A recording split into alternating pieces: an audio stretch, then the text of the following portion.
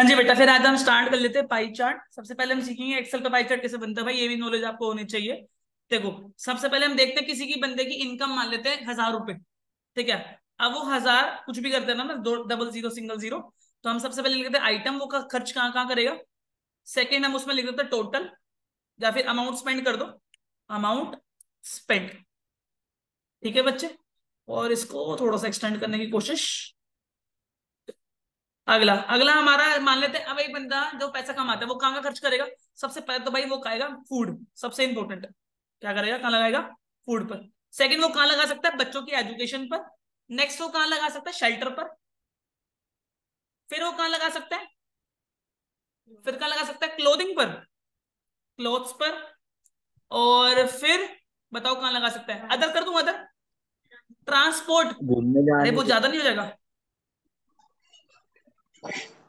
Transport और फिर एक अदर कर देते हैं जो भी खर्चे हमने यहाँ नहीं लिखे तो फ़ूड पे हमारे हज़ार रुपए कर ले ज़्यादा कर दस हज़ार कर ले? जब बताओ कितने करें? बोलो जी तो तुम बोलो। पाँच हज़ार फ़ूड पर? दो तो देख लेंगे कितनी इनकम है उसकी पहले पाँच हज़ार कर दिए यहाँ पे। फिर कितने करूँ? यहाँ पे एजुकेशन पे अगर पाँच हज़ार खाने पे लगा तो बच्चों को तो ज़्यादा लगाएगा भाई। बच्चों को तो लगाएगा दस हज़ार। दस हज़ार ठीक है। शेल्टर बताओ फिर कितना लगाऊ? शेल्टर मान लेते रेंट में तो रेंट पे घर में पाँच हज़ार लगा लो ठीक है। क्लोथिंग पे ज़्यादा खर्चा नहीं करेंगे ज़्यादा पैसा बचा नहीं है तो दो हज़ार मान लेते हैं ठीक है उसके बाद ट्रांसपोर्ट पे लगा लो कितना तीन हज़ार मान लो। तीन हज़ार।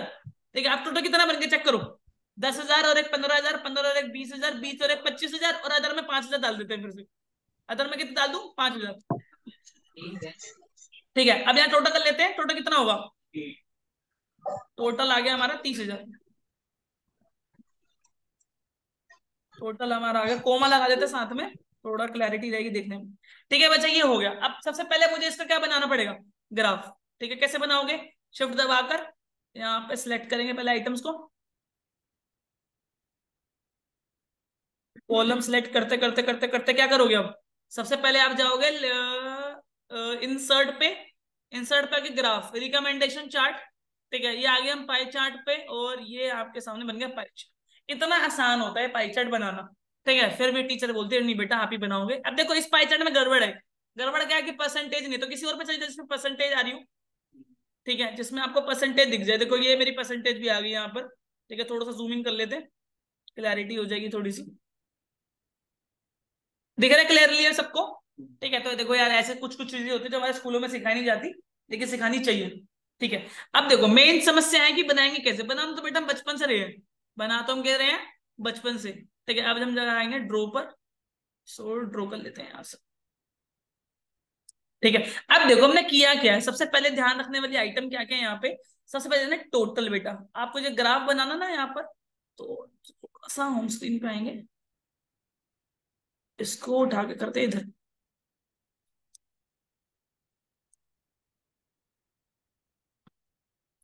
थोड़ा मेरे को स्पेस चाहिए तो मैं इधर थोड़ा इसको रहा हूँ, बस, ठीक है? चलिए तो अब देखो, यहाँ पे मुझे पता है मेरे को ना सबसे पहले निकालनी होगी परसेंटेज क्या निकालनी होगी बच्चे?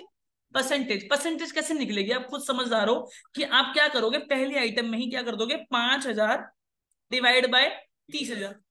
और मल्टीप्लाई कर दोगे सो। कितना आ गया बताओ परसेंटेज फ़ूड का परसेंटेज कितना आ गया? फ़ूड का परसेंटेज बन रहा है मेरे हिसाब से सत्रह। कितना बन गया? तीन ज़ीरो से तीन ज़ीरो गई। ठीक है फाइव वन जा फाइव सिक्स जा। ठीक है, अब काटेंगे।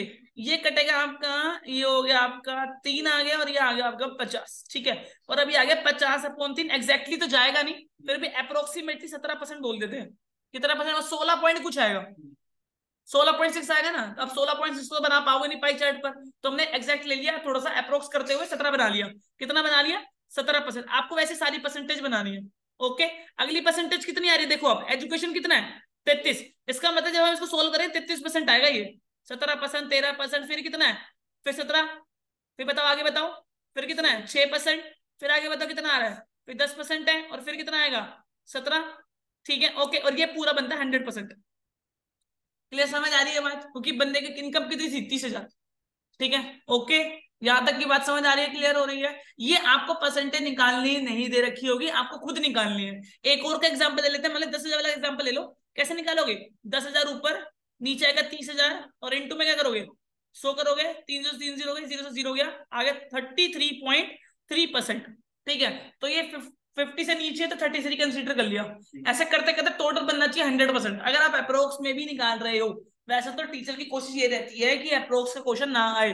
फिर भी हमने अपने अकॉर्डिंग क्वेश्चन बनाया था तो अप्रोक्स भी आ सकता है, ऐसा कोई दिक्कत वाली बात ऐसा सच नहीं है यहाँ पर। बात समझ आ रही है?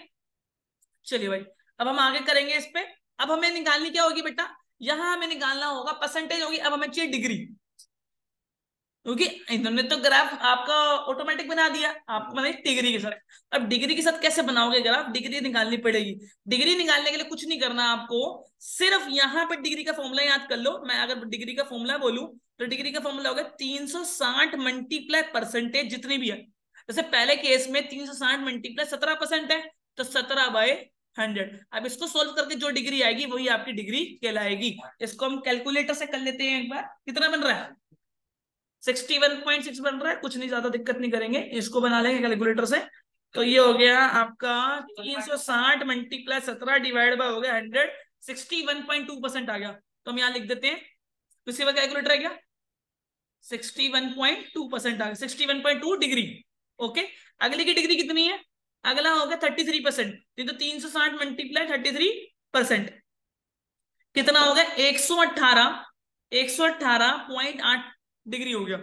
अगले का डिग्री हो गया आपका सत्रह परसेंट है तो अगले का डिग्री सत्रह कर दो तो सत्रह डिवाइड बाय हंड्रेड तो आ जाएगा वही सेम आ रहा है, sixty one point two percent, two degree. अगले का छह डिग्री है तो तीन सौ साठ मल्टीप्लस छह divide by hundred, twenty one point दो परसेंट, दो डिग्री। अगला दस परसेंट है तो छत्तीस हो गया सीधा, और अगला सत्रह परसेंट दोबारा आ गया तो सिक्सटी वन पॉइंट टू। अब आपने क्या करना है, सबसे पहले काम आपको है एक रेडियस खींचना।